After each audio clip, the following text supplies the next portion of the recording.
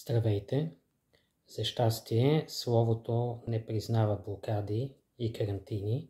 Ще ви прочета началото на своя роман Кротките. В гъстата февруарска мъгла, наситена с миризмата на въглища, млад мъж стоеше на моста до Ючбонарската баня. Късаше страници от тетрадката, която държеше в ръка и ги хвърляше в реката.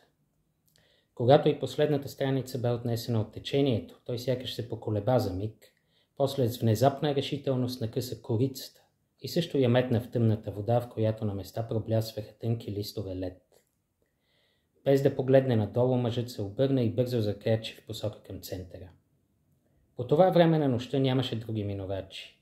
Улиците бяха снежни и пусти.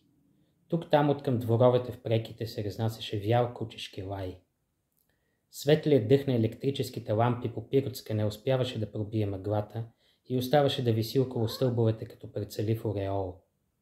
Стъпките на мъжа хрущяшаха в отъпкания сняг, почернял от сажди и сгур. Не срещна никого, но и да беше срещнал неговите съкварталци, навярно в първия момент нямаше да го различат. Това беше ти. Ние те познавахме, Емил Стрезов. Цели месеци и години следяхме всяка твоя крачка. И макар да не те видяхме тогава на моста, дори в съня си знаехме, че си там. Улисани в своето бързо въртене, очните ни ябълки и приспуснатите клепачи забелязваха всичко.